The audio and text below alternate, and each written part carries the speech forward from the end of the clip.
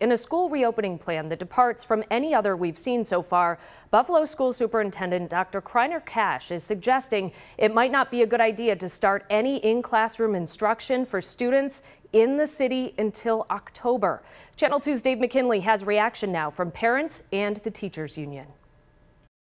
Within his draft reopening plan, Cash says school buildings in the city are nowhere near ready to accept students under the guidelines for reopening set by the state, nor are the teachers. He suggests a phased in reopening, where teachers and staff would start in September and get paid while they went through a several week orientation period of sorts.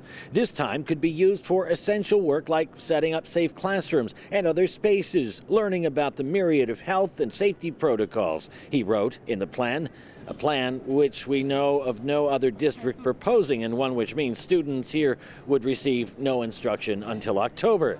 The head of the Buffalo Teachers Union isn't opposed to the idea. If it takes that long to make sure that we can start school safely and everybody's on board, so be it. But he doesn't think much of Cash's overall planning. If we had started when we should have, and gotten everybody really involved in the decision making, we probably wouldn't have to start so late. We were told Cash would not be available to speak with us until sometime next week. But in an interview granted to the Buffalo News, he said a plan first needed to be produced and that that was his job and that there's still time to get input from others. This isn't a dictatorship. Everybody has to be at the table, being at the table and having actual input and approval of a plan. Phil, have you ever heard the old phrase, when it's everybody's job, it's nobody's job? Yeah, but when it's not everybody's job here, people can die.